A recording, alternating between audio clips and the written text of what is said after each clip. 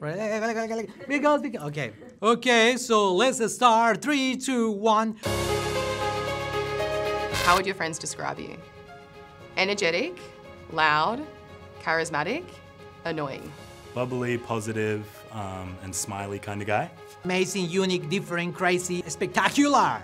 Person that motivate everyone and fight for the dreams and say to everyone that it's possible. Because I believe that everything is possible in life. You can do it, you can achieve it, you can get it. Who would play you in a movie of your life? Robbie Downey Jr., absolutely. Will Smith. Halsey or Pink?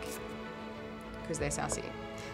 What will you struggle uh, with if it is not in the house? Oh, coffee. Rosé, Coffee. A treadmill, I need coffee. I need coffee. nature, I need coffee. I need coffee, please. I need coffee. My bed? Just thinking about that, um, oh, make me, make me stress. So yes, coffee.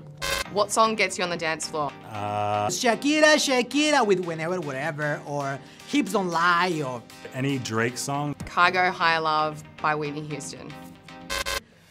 Do you have a tattoo? No, I don't have a tattoo. No, but I want a lot of them. Maybe a Big Brother tattoo. I'm looking for my first tattoo. Give me ideas. Give me ideas about tattoos. What will the housemates love most about you? Hmm. Ah, I'm smiling all the time. I'm happy all the time. It's really quite hard, isn't it? Without sounding like a loser. I'm super friendly all the time. I'm super supportive, uh, and I'll have a lot of energy and motivation. So motivation is going to be my, my power.